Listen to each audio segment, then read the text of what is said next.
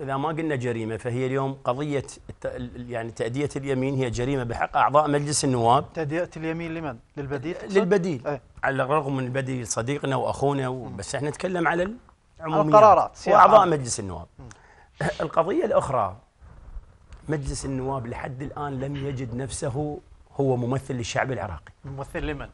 ممثل الأحزاب والكيانات ويمثل نفسه توجهات يعني ال- ال- الشيء المحيط به.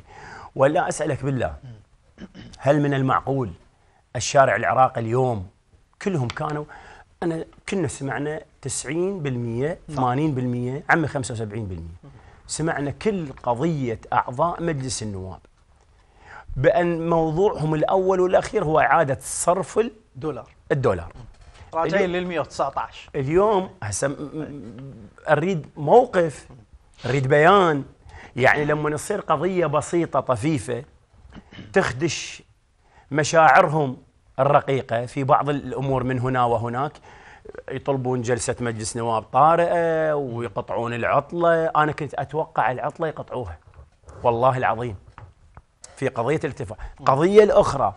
وجود المحافظ لحد هذه اللحظة. محافظ البنك. محافظ البنك. على الرغم من أنا سمعت سمعت. تدري الأمور السماعية؟ بأن هناك بعض القيادات داخل الإطار داعمة لبقائه. عجيب.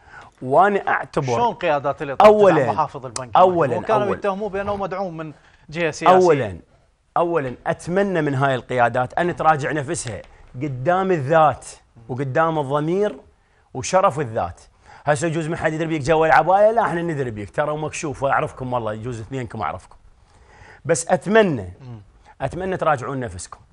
لأن ما معقولة بس هذا الشخص بالأمس اتهمناه جميع الاتهامات. واليوم نجي نشبقه ونحضنه وثاني شيء الأعذار من رئيس الوزراء. بالإطار؟ بالإطار. الأعذار من رئيس الوزراء. بالأمس إحنا نكذب الآخر من يتكلم به وهي قضية بأن البنك المركزي هو المسؤول وكذا. أنا أذكر أحدهم قال شنو البنك المركزي هو المسؤول؟ إحنا اللي صوتنا عليه إحنا اللي جبناه. ليش تقول أحد؟ شنو هذا رئيس الوزراء اللي يتحدث بهذه الطريقة السيد منو ذاك؟ هذا حديث السيد السوداني. منو هذا؟ اليوم شنو؟